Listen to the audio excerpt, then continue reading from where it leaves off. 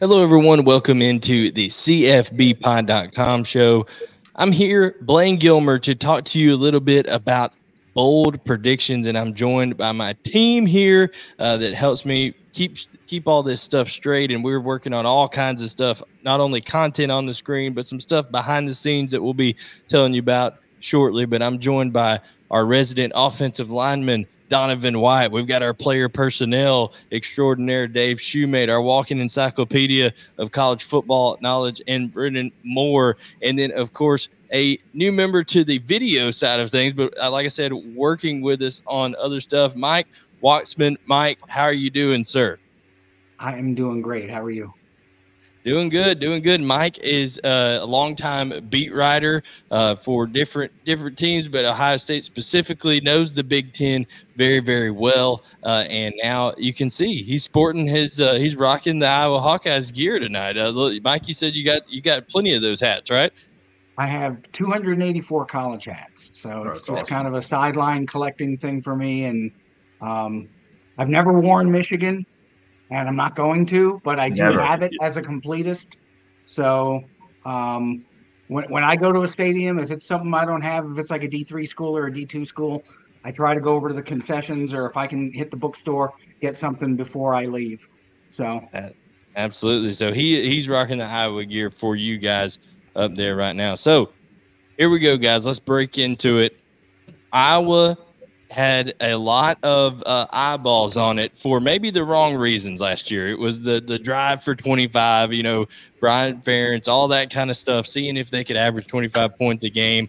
Of course, uh, the Minnesota game ended terribly last year with the the punt return from Cooper DeJean, DeJean being brought back. I mean, all this kind of stuff uh, that that maybe wasn't exactly what Kirk Ferentz and company wanted, but – lo and behold, they found themselves in the Big Ten championship game once again. So it's a program that has success. Now we're going into a new era of the Big Ten where there are no divisions. It's going to be a little bit different.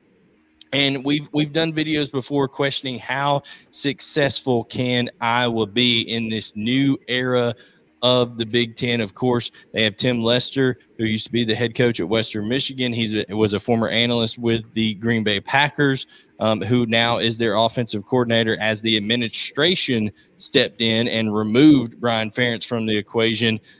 Always good on defense. But, guys, it's time to go ahead and lay down our bold predictions for the Iowa Hawkeyes. We'll start with you, Donnie Mack. What is your bold prediction for Iowa in 2024? Yeah, my bold prediction is that in this new 12 team format, playoff format, is that you're going to see a little bit of a collection, a little bit of saturation of some of those Power Five teams, Power Four teams, and really, if you want to call the Power Two teams of Big Ten and SEC, that's, that's what I think you're going to see. And I think Iowa, my bold predictions is they're going to be one of them. And maybe that is super bold, but again, I look at their schedule and I say, okay, what's the one team on there that I don't think they're going to beat this year, no matter how good their offense improves or how, how much it jumps? It's Ohio State. I think we can all agree that Ohio State and Iowa still a bit of a mismatch, um, especially at Ohio State. But then you start looking at the rest of their schedule.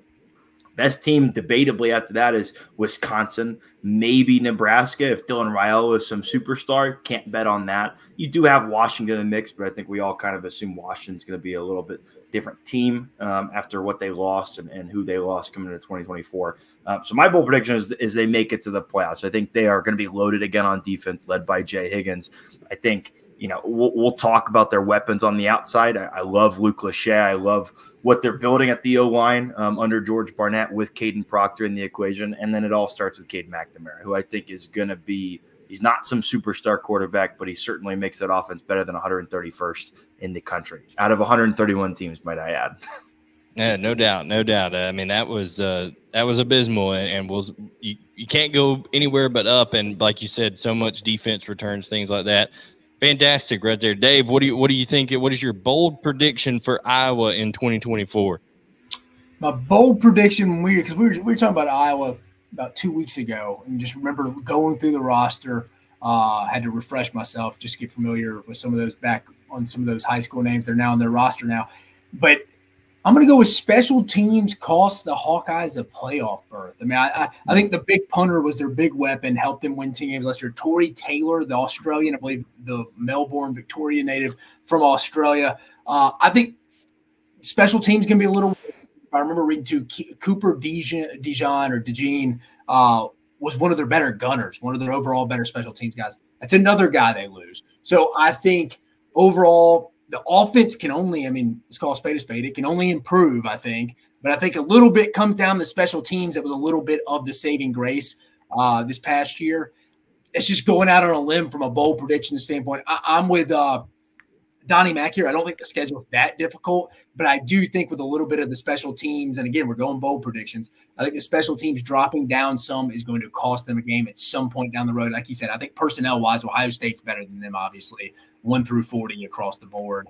Uh, obviously, one through 85 as well. But Wisconsin would be another game I'd keep an eye on. And I, sometimes maybe at Maryland or, or like Donnie Mack said too, Nebraska, depending with Dylan Raiola. But I think somewhere down the line, special teams that's been big for them the last few years gets them caught up. They step into that bear trap somewhere one twice, lets them finish in the 14th, 15th range instead of in that top 12 that would get you a ticket to the playoff.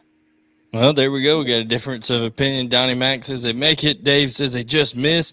Mike, uh, speaking of punters, man, you you you recently did a piece on uh, all the punters out there, and uh, specifically Australian punters, things like that. So you might have a little insight on what Dave just said there. But uh, Mike, what is your bold prediction for 2024 for the Iowa Hawkeyes?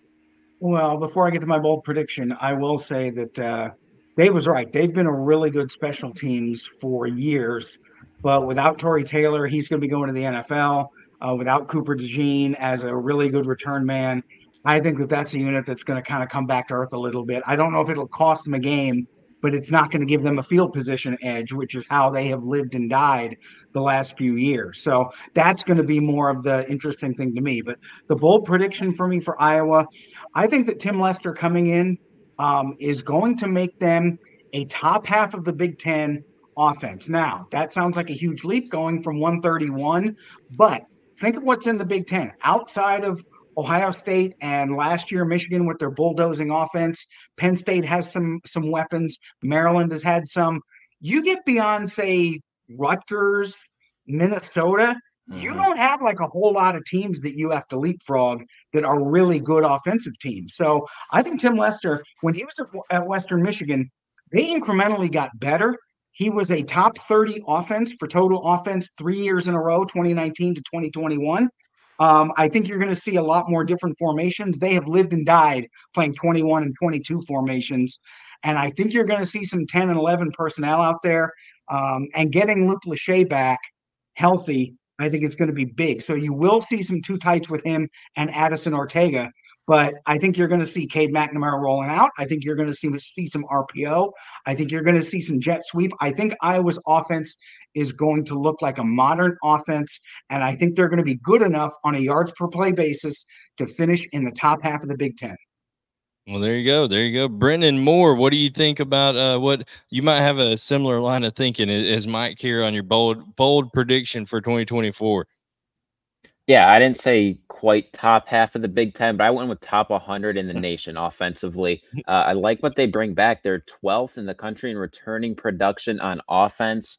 Uh, those are according to Bill. And I hate, to, I hate to interrupt, but I just, I just think that is fantastic. That that that is your bold prediction that they're going to jump up into the top 100. I love that. Continue onward, sir. Yeah, I just love the what they have coming back with Cade McNamara at quarterback. I think Donovan mentioned it, but he's not he's not going to be a savior at quarterback by any means, but he's serviceable. Uh, he's experienced. Luke Lachey, I think, is going to have a solid season at tight end, and I like what they have returning in the offensive line as well. They uh, they return a lot of experience there. I think the running game should be good enough to get them over that top 100 hump. So I don't want to dive super deep because a lot of uh, you know Donnie Mack, Dave, Mike, they already touched on this uh, this offense. So I'll put it at top 100. Not quite as like not quite willing to go top half of the Big Ten, but top 100 is where I'm going. Well, this is called bold predictions, and I'm going to go pretty bold here on Iowa. I'm going to I'm going to say people are familiar with the names of George Kittle, uh, Hockenson, Laporta. They're familiar with these names at tight end. Well, Luke Lachey, having watched film on him and the way that he can move when he's healthy, he's a special player, and he's able to he's able to make uh, contested catches. He's able to do things after the catch, and I think you know, knock on wood, banking on him being healthy, I saw the numbers of those other guys during their times at Iowa, and they were approaching that 800 yard mark on some of their years. I'm going to say Luke Lachey is a thousand yard receiver for Iowa this year, and one reason I say that is because I believe that Kaleb Brown and Seth Anderson they'll they'll they'll develop just enough just enough to be able to say, okay, we can't bracket cover Luke Lachey, and the run game's going to get just enough better. And like like Mike mentioned, Cade McNamara is not somebody who's going to to you know get mistaken for Lamar Jackson or anything like that, but he's he he is like Arch Manning back there compared to Archie back in the day. He's like Archie Manning back there, a Fran Tarkenton compared to Deacon Hill. Okay. Deacon Hill was a statue. He was planted in the ground Cade McNamara can at least move a little bit and get out of there. So lots of different elements plus the, the more inventive, uh, more creative offense that I believe they'll have under Tim Lester versus what they had under Brian Ferentz. I think you'll see Luke Lachey have plenty of opportunities and have some big games. Uh, I think he's going to be yet another guy that in the pro ranks just does a great job after his career at Iowa is over and I think he'll have a special year and eclipse that thousand yard mark. So, guys, those are our bold predictions for the Iowa Hawkeyes in 2024.